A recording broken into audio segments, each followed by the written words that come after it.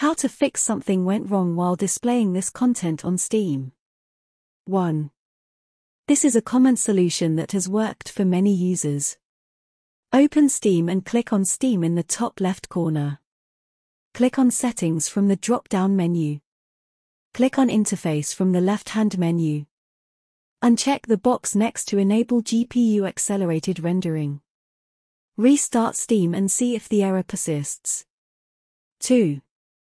Clearing the Steam cache can also help fix this error. Open Steam and click on Steam in the top left corner. Click on Settings from the drop-down menu.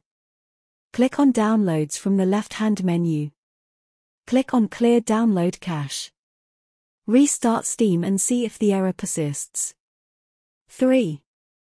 Running Steam as an administrator can sometimes fix this error. Right-click on the Steam icon on your desktop. Select Run as administrator from the drop-down menu. Enter your administrator password if prompted. See if the error persists. 4.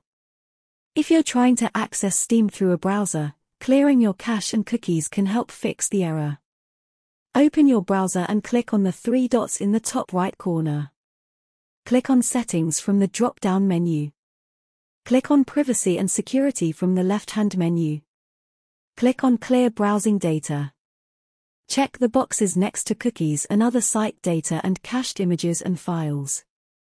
Click on Clear Data. Try accessing Steam through your browser again and see if the error persists. 5. If none of the above solutions work, your computer's GPU may be causing the error. Open your computer's device manager. Click on Display Adapters.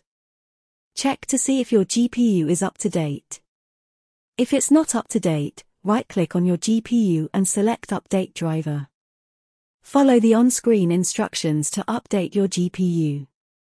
Restart Steam and see if the error persists.